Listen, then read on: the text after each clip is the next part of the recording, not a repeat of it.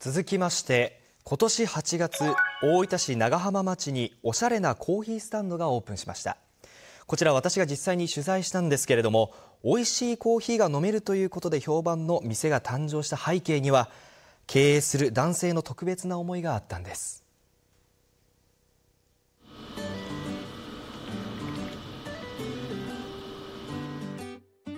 大分市長浜町にオープンしたコーヒースタンドある焙煎所。こちらではスタッフが厳選したインドネシアやエチオピアなど4カ国のコーヒー豆を最先端の焙煎機を使って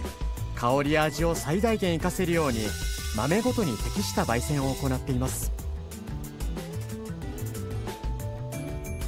地域の人たちがですね、えー、立ち寄りやすいようなあ空間をイメージして、えー、おしゃれな場所を作っております。メニューはコーヒーやカフェラテなどのほか豆の購入も可能です。オープンして2ヶ月お客さんからの評判もいいようです。店内もおしゃれでめちゃくちゃ若い人がたら映えそうだなって思いました。深入りとかこう浅入りとかいろいろあると思うんですけどその辺もこうちゃんと計算して美味しいコーヒーをこうやって直接ね提供してくださってとてもこっちとして嬉しいです。はい。そしてこちらの店が力を入れるのはコーヒーの美味しさだけではありません。それが就労支援です。実は店を経営している鈴木田さんは生まれつき言語障害があり自分と同じように障害がある人でも社会で働けるきっかけを作ろうとこの店を始めたといいます。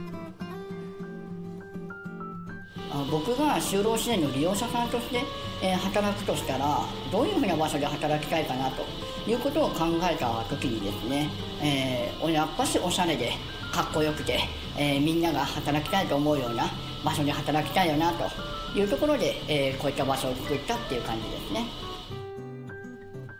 店では現在知的障害や精神障害のある人が働いていて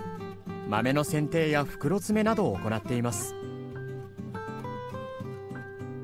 無理がないペースでやってくれる。っていうのは非常にありがたく感じますし、まあ、それを支えている優秀なスタッフにも感謝してますね今は軽作業だけですがそれぞれのやる気や実力に応じてさまざまな仕事を任せていきたいということです。ある焙煎所に来て、えー、美味しいコーヒーを飲んでで、えー、また来たいなと思ってもらいたいですし、えー、帰る時にほんの少しでもあ就労支援でこんなことできてるんだなと思ってもらえたらいいなと思います。この町に存在するという意味も込められたコーヒースタンドある焙煎所。これからも障害のある人たちと手を取り合いながら地域で愛されるお店を目指していきます。それではここで障害がある方々の働き方について見ていきたいと思います。障害がある人の働き方には大きく分けて2つあり企業や役所で働く一般就労とそれを目指す就労支援があります。県内で就労支援に取り組んでいる事業所はおよそ350事業所。そして定員数は6900人ほどです。今回取材したコーヒースタンドが行っているのもこの一つです。事業所ではビルのメンテナンスなど個人の能力や知識に応じて仕事内容が分けられていて技術を向上させより多くの障害者が一般就労できることを目指しています。ただ障害の程度は一人一人異なっているため働きたくても事業所の内容仕事内容がですね合わないという人もいます。